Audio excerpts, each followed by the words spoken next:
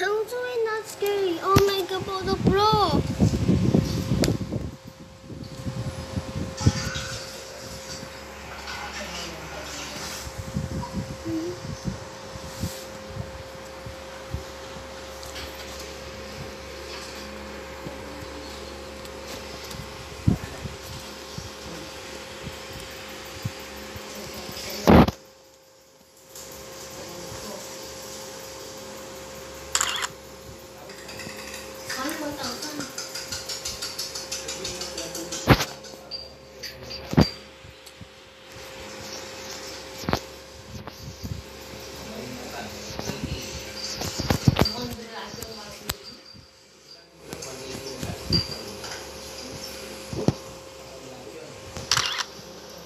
Thank you.